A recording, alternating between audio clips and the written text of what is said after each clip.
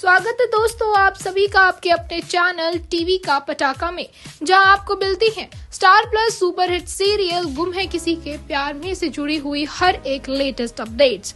दोस्तों, बताते हैं आपको लेटेस्ट प्रोमो के बारे में। कहानी में आने वाले उस बड़े मोड़ के बारे में, जिसके बाद अक्का साहेब के पैरों तले ज़मीन खिसकने वाली है। अक्का साहेब के सपनों में भी ऐसा कुछ नहीं हुआ होगा। बुरे ख्यालों में भी इतना बुरा उन्होंने नहीं सोचा होगा जितना उनके साथ होने वाला है।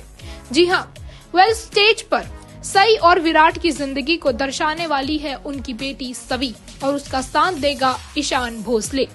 ऐसे में दोस्तों, ईशान भोसले और सवी दोनों पति पत्नी का एक ऐसा किरदार निभाते हैं कि निभाते निभाते कब वो एक दूसरे के पति पत्नी बन जाते हैं वो खुद नहीं समझ पाते। वो एक दूसरे के साथ इतने ज़्यादा रियल लग रहे होते हैं कि हर कोई पीछे से ऑडियंस में ये कहता है। ऐसा लग रहा है जैसे ये दोनों सच में पति पत्नी है। ऐसा लग रहा है जैसे इनकी सच में शादी हो गई है। वाओ, ये दोनों एक दूसरे के साथ कितना जचते हैं। ये सुनकर सुरेखा गुस्से के मारे तमतमाने लगती है और बीच शो में ही स्टेज पर चढ़कर सभी के ऊपर चिल्लाने लगती है। ऐसे में दोस्तों सभी और ईशान एक दूसरे की तरफ़ देखते हैं, लेकिन उन्हें कुछ समझ नहीं आता कि अब वो क्या करें, क्योंकि बड़ी बड़ी मीडिया कवरेज है। सामने इतने बड़े गेस्ट हैं, अगर उन्होंने हल्का सा भी रिएक्ट किया तो उनके कॉलेज की बदनामी हो जाएगी। ऐसे में दोस्तों, पास में रखी सई विराट की जो तस्वीर है, उसे हाथ में लेकर सभी का हाथ पकड़ता है ईशान और कहता है कि इनकी प्रेम कहानी को दर्शाना भी हमारा फ़र्ज़ है। इनकी तरह हम भी एक ऐसे कपल बनेंगे। ऐसे पति पत्नी बनेंगे, भले ही उनकी शादी समझौते में क्यों ना हुई हो, लेकिन हम एक दूसरे का सपना ज़रूर पूरा करेंगे। एक दूसरे का हौसला कभी भी टूटने नहीं देंगे।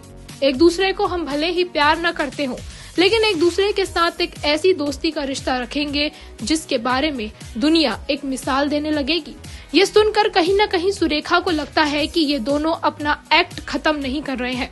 उसे रियलाइज़ होगा कि सामने मीडिया बैठी है, इसीलिए सभी और जो दूसरा मेरा बेटा, ईशान है, ये दोनों के दोनों ऐसा दिखाने की कोशिश कर रहे हैं कि ये सब कुछ भी एक्ट का पार्ट है।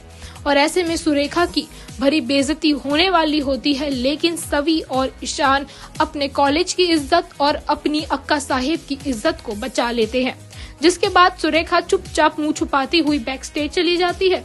और हर किसी को लगता है कि ये कॉलेज कितना अच्छा है यहाँ के प्रोफेसर और डायरेक्टर भी पार्ट बने हैं और कितने रियलिटी के साथ इन्होंने शो दिखाया है, जिसके बाद गवाची गैंग को काफ़ी शाबाशी भी मिलती है।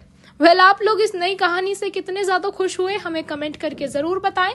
साथ ही वीडियो को लाइक, शेयर और चैनल को याद से सब्सक्राइब कर लें।